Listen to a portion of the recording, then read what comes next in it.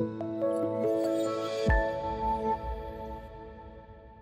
good afternoon, traders. And yeah, I think last week we, we had seen some really positive signs coming through markets. I think certainly a lot of people who are long, on the long side of US Treasuries, long side of rates, uh, were caught off pretty badly, and we've seen a lot of people having to cover those positions. And, and, and the news flow was, was, was, was really clearly positive in that situation and, and really warranted that move. Whether you're looking at the ECB giving off the impression that perhaps they're done on the rate cutting cycle, there was obviously a big fracturing and, and warring between the, the governing council as to whether they should be looking to, one, cut the deposit rate into that deeper negative territory, but also also what they were going to do with quantitative easing. Uh, obviously, they've come out with 20 billion euro package that is going on for as long as it effectively takes, which could be for a long time.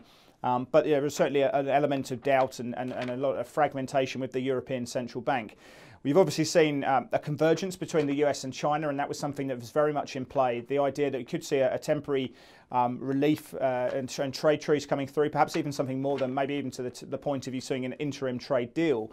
Um, China coming out and, and, taking off a number of US, US, agricultural products from that 25% tariff leaf, uh, list, and also looking to, to commit to, to buy uh, an undisclosed amount of US agricultural, agricultural products like soybeans, for example. And certainly, you know, 34 basis points on, on tens to the upside was a, was a staggering move. You, for statistics, statisticians out there, that's a three and a half sigma move on the week. Now, in terms of rate of change, we worked that out to be the, the highest in, since November 2016. So clearly, that's had some big moves. That had a big move on, on dollar dollar yen, and something we'll be watching this week as well.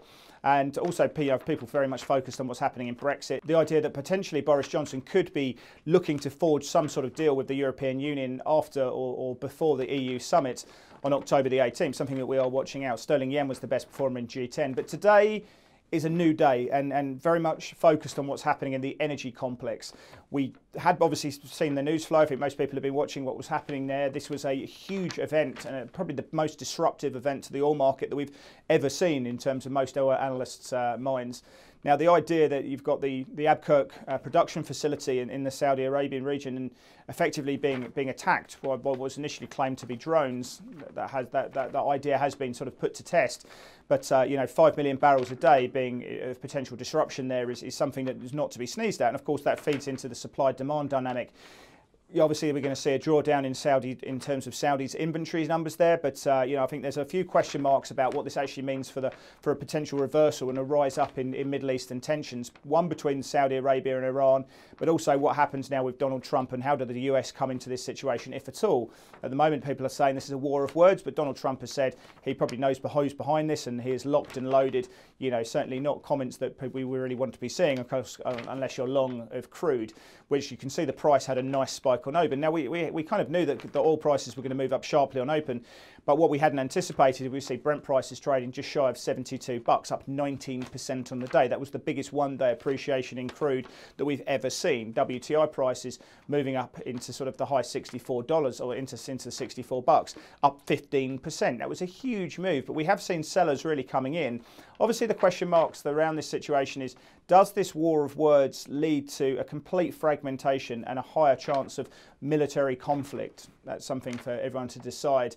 Uh, but certainly the idea that, that, we are in a raised situation where we could see uh, further attacks on these on these production facilities is something that, that's very much in play.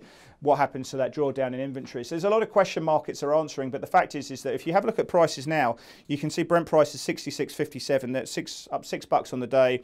Uh, WTI 59.97 up five bucks. They have come nicely off the highs, so traders have used that strength to sell into. Perhaps they could see this dying down in a little bit. Gold prices at uh, 15.04. They have been higher on the day, quite sharply higher than this. But again, people looking to sell into that move. How is that moving in in in this uh, in the oil complex traded through the currency markets? Well, if you have a look at dollar CAD, that's down 54 points, 132.34.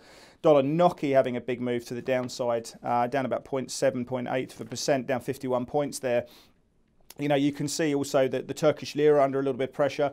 We're seeing, um, you know, some sellers coming through in the Turkish lira, and you're also seeing sellers uh, in, in in some of the other sort of high risk currencies as well. You can see Aussie Aussie dollar down about 10 points or so, not too much. But dollar yen, that sort of gap lower, trading into 107.50, had a, had a bit of a strong rally up to 107.92. We're back down to this 107 sort of uh, 50 level now as we, as we speak. We're coming down further down.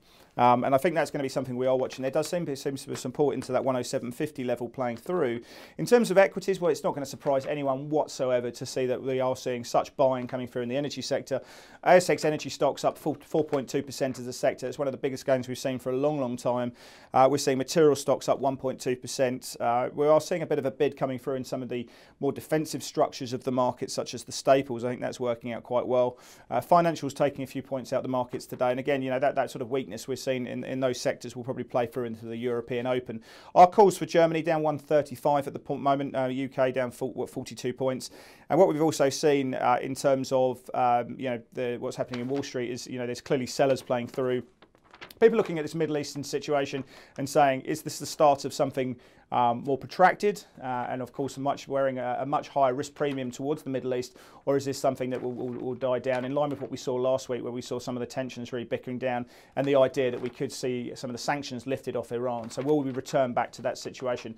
I don't know if we will. I think the fact that we, we're seeing such positive, such big gains coming through in the oil complex today suggests this is a story that we need to keep, keep our eye on.